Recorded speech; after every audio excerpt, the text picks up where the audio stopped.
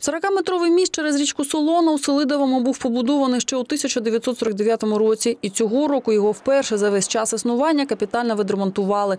За більше ніж 6 мільйонів гривень, виділених з обласного бюджету, тут провели увесь комплекс відновлювальних робіт. А суттєве укріплення збільшило його вантажопідйомність до 80 тонн.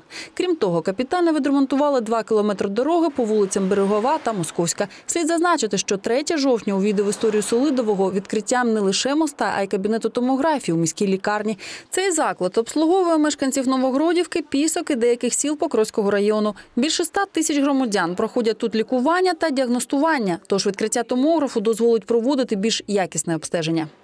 Лечебные учреждения, вот именно Селидовского ЦГБ, оказывают помощь жителям города Селидова, украинец Горняк, это наш э, совет. Кроме всего прочего, город Новогродовка. Мы м, в большом количестве случаев оказываем помощь и травматологическим, и хирургическим, и гинекологическим роддом. Роддом, гинекология, Маринский район э, оказываем помощь и близлежащие села Красноармейского района. Ну, это где-то м, ока- в общей сложности до 120 тысяч населения.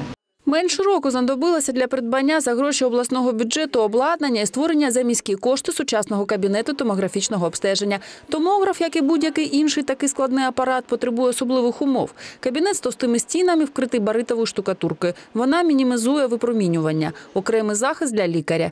За дослідженням він спостерігатиме через спеціальне віконце з броньованим склом. Усі результати обстеження будуть виведені на екран монітору. Молодий лікар пройшла спеціальне навчання і готова за день проводити не менше п'яти процедур. Обследование органов брюшной полости, органов грудной клетки, головного мозга, костей, костей черепа, конечностей. Наскільки нуждалась больниця в такому оборудованні? Любая больница нуждается в таком оборудовании для более точного диагностического обследования, постановки диагноза.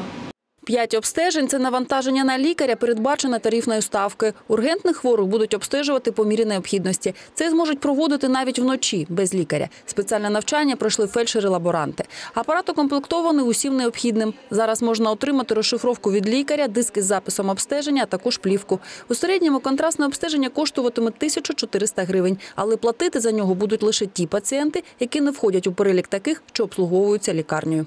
Принято решение, значит, э, выполнять бесплатное обследование компьютерной томографии жителям города и жителям тех городов, с которыми э, у нас есть договора на э, медицинское обслуживание.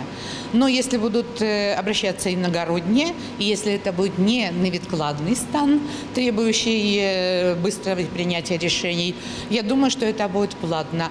Ну, в среднем мы подсчитывали, что стоимость контрастирования будет порядка 1400 гривен.